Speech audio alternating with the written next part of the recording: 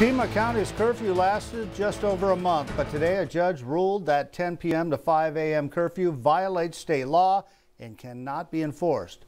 News 4 Tucson's Mark Mangura tells us what's next.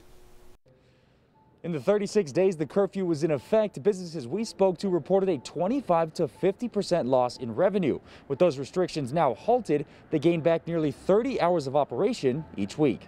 The ruling states that Pima County was unable to offer evidence that a significant number of cases could be attributed to activities citizens engage in after 10 p.m., and that the restrictions violated Arizona state laws and Governor Ducey's executive order preventing further restrictions placed on businesses last May. The Goldwater Institute says that oftentimes local governments tend to disregard state law when they believe they are doing something good for the public. Counties don't have the authority to impose a curfew where there's no breach of the peace, there's just uh, an epidemic disease going on. That no, no law allows counties to do that. The Pima County Health Department said they believe that state law does empower them as the health department to take actions like the curfew to stop the spread of infectious diseases. It's one of the few tools that we have in our public health toolbox that we believe can make a difference in terms of the rate of um, transmission. Business owners involved in the court case say that after suffering losses due to the pandemic, the overturned curfew is a huge relief to their employees and their businesses.